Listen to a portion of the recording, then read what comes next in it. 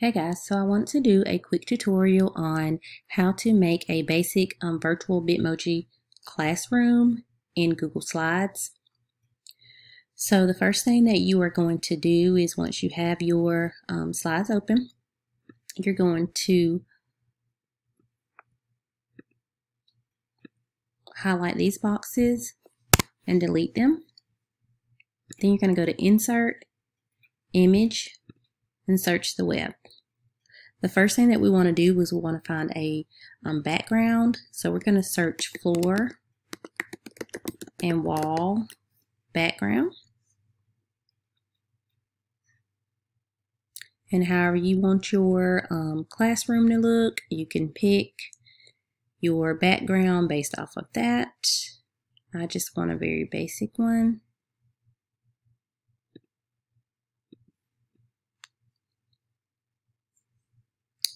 Then you'll size it.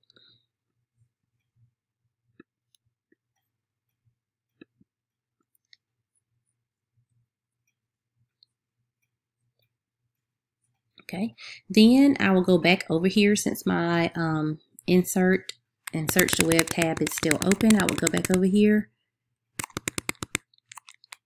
and I want to add a bookshelf. So I'm going to type in transparent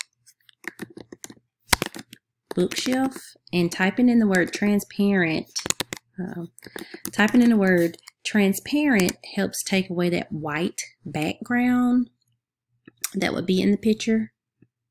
Then we're going to drag and insert it. Resize it.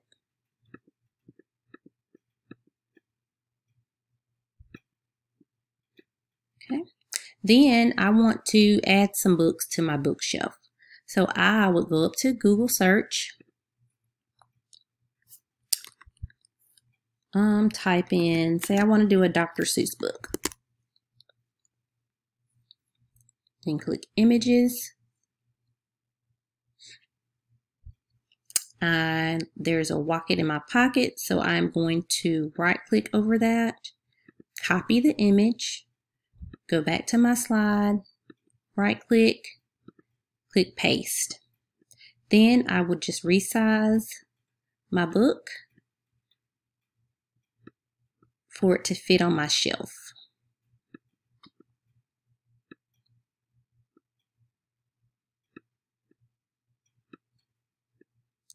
Okay. Then say I want to add a sofa or couch.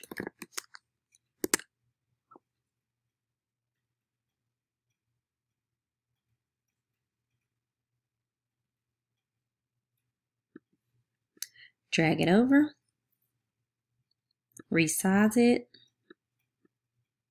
but I don't like the color or I don't, you know, like the color of that couch or think it goes with my picture. So what I would do is right click, go to format options, recolor, and go down till I find the perfect color. Let's do gray. That's perfect. And then just, you know, resize it as needed.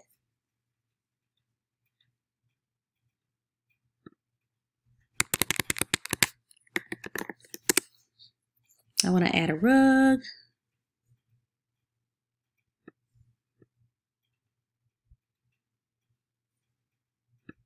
Resize it for it to fit perfectly.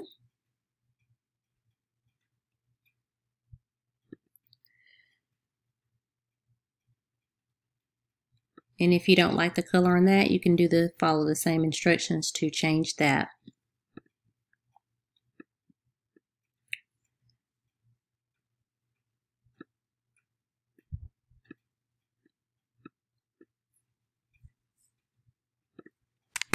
Okay, let's do, um, what if I say if I want to just add a whiteboard? I would go up to shapes, insert my shape here. You can just size it.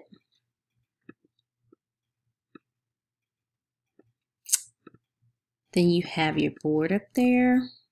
You can insert text box.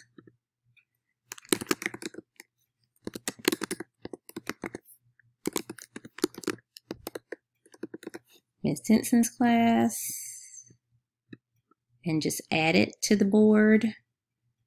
Size it however you want to. Change the font if you would like.